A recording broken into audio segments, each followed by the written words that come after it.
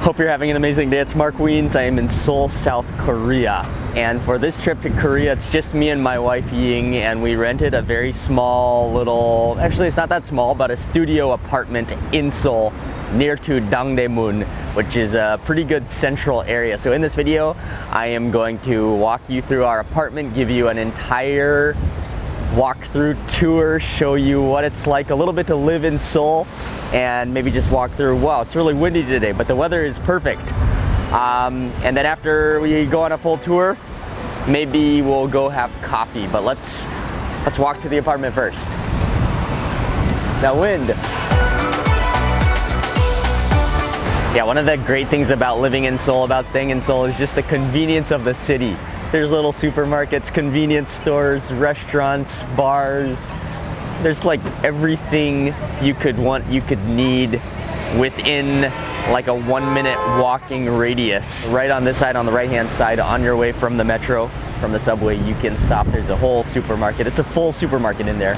They even have some stuff out on the sidewalk and then keep on going and you get right right next to the, the little supermarket is a fruit shop fruits and vegetables.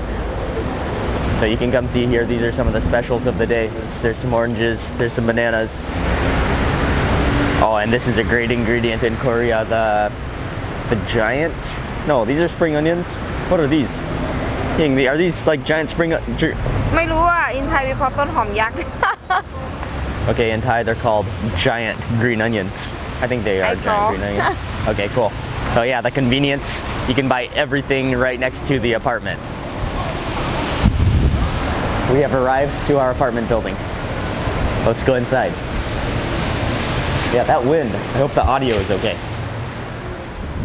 All right, elevator. Okay, it's kind of squeaking, but otherwise this elevator is so quiet, you barely know it's even going up. Listen. It's kind of squeaky today though. I don't think it was squeaky yesterday. Wind? Or maybe the wind is like coming through the the elevator interiors. We are on the 23rd floor. Okay, we have arrived.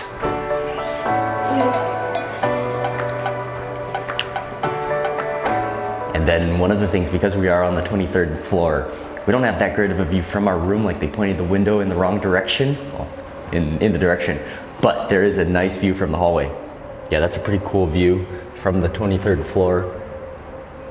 But this view is from the hallway, unfortunately, not from our room. You'll see that, I'll show you the view from our room too.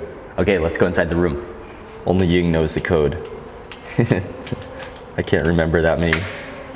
All right, thank you, Ying. Welcome to our apartment. It's always good to have a a wife like Ying who has much better memory than you. I can never remember that code, but it's keypad entry access, which makes it very convenient. No keys. This is a studio apartment, and for this trip, just Ying and I uh, are on this trip to Seoul because it's a quick trip, and we left Micah, our son, with grandma back in Bangkok, back at home in Thailand. Uh, so this is just a quick trip, and we got a studio apartment, so it's just one room, but I guess for, for one room, it's pretty spacious. It's pretty big. It even has two beds, a sofa, um, a full, well, a mini kitchen, and one bathroom. Uh, but it's definitely plenty spacious for one or two, and this would definitely be a, a very common type of studio in Seoul. Let's start over on this side. Oh, hello.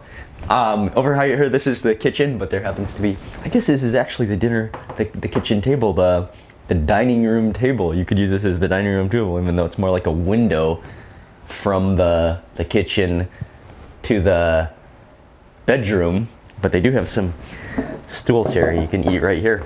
It's kind of cool. It makes good use of space. But this is the kitchen over here. It's a small kitchen, but it's a full kitchen. Uh, I have the sink here, there's a water kettle, there's a rice cooker, there's a microwave, a stove, two burners, and then below here they even have a, a washing machine. Oh, it's a fully functioning kitchen, but I don't think you'd want to be in here with more than one, more than by yourself, uh, because it definitely would get a little cramped. And then over back here, which they've kind of built into the whole closet system, is the fridge.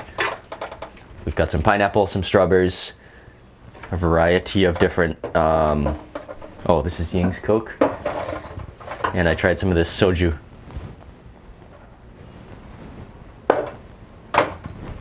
And then I haven't even looked down here, but this is this is kind of a weird. Sometimes it doesn't close all the way. And then down here is the the freezer. I haven't even looked in here. Yes, it is. And then right off of the kitchen, this is the the single bathroom of the whole apartment. Uh, toilet, which has a Korean toilet seat, uh, which is warmed, which has the spray, which has the massage option. No, not really, but definitely the spray and the warm toilet seat is just, it's an absolute joy of life. Uh, sink is here, and then the shower. Shower, it has kind of like some some interesting knobs that I haven't figured out what they do, but but the shower is okay. And then, you know, just a pretty normal, typical bathroom. Come on out into the main room. This is the bedroom, the living room, the basically everything room, the, the space where you're gonna spend most of your time hanging out. Um, and of course, sleeping. But yeah, there's space for two beds. So if you didn't have two beds in here, you'd have other space for maybe a little office or a little desk or, or something. Normally, I like to do a, a bit of a uh, especially at hotels, I like to jump into the bed to, to get the full bed test, but this is a slow sit down. Oh, no, not bad at all. Uh, but it's definitely not the type of bed you want to jump on or you'd bottom out very quickly. Okay. Okay, and then on this side, it's a pretty, pretty long sofa. Oh, this sofa definitely has the bucket seat going style. You kind of sink in. And then I've been setting up my computer here on the coffee table, hard drives, downloading photos, downloading videos, sometimes sitting like this on the, but I haven't been doing like serious, serious, serious video editing, so I, there's not really, okay, there is a little bit of a desk, but not, not a serious desk. Ah, okay. And remember how I told you that the view wasn't quite as good from our window here? Here's the view from our window. It's of the other buildings here. I mean, if you look down that way, you can get a little view. And if you look down this way or right out the window, it's quite a ways down there. The main big windows don't open, but what's nice is these little windows open.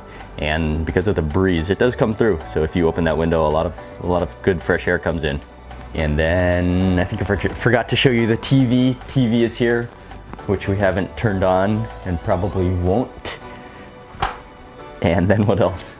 Did we miss anything? I think we've completed the tour of this studio apartment in Seoul, living in Seoul. So let's go down downstairs. Let's go to a coffee shop. There's a coffee shop right across the street that I haven't been to yet, but I want to try it. Let's go now. Oh, I know what I completely forgot to do. I should have taken off my shoes and put on these. Okay, let's just wear them just for a few shots, a few extra shots in the house. These are definitely comfortable Korean house sandals. And I love the love you. Love you. Love you. Love you. Okay, now we can go for the coffee. Okay, coffee shop is across the street. I guess we'll cross over here at the crosswalk.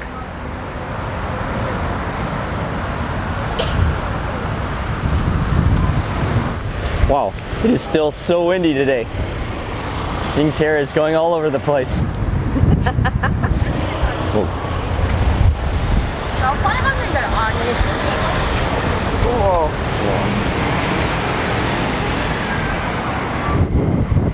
Wow, that wind is strong today. Oh. The trees.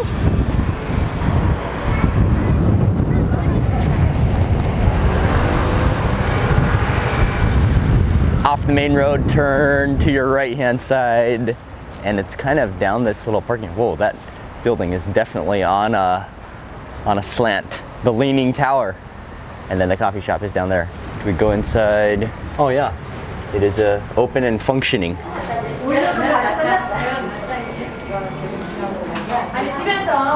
Very kind of hidden and chilled out. Okay. 안녕하세요. I got an Americano, 3,000 won, hot Americano. Maybe sit outside actually enjoy that wind. Yeah, I think we'll go outside. Press the button. One more time. Oh, I can smell that cinnamon on your cappuccino, Ying. Where do you want to sit? Over here? Okay, now this is good. Kind of a patio, actually a very nice patio area in the parking lot. I like this coffee shop. Think up. Oh, thank you. Hololok coffee. Always fresh, always hot.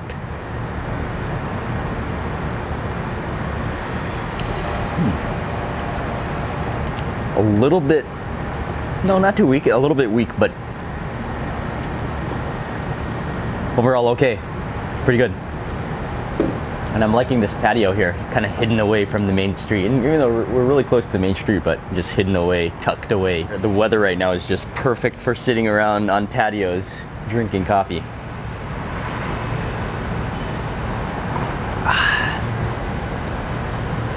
Coffee is a little bit weak. Could be a bit stronger. I would be happy with that.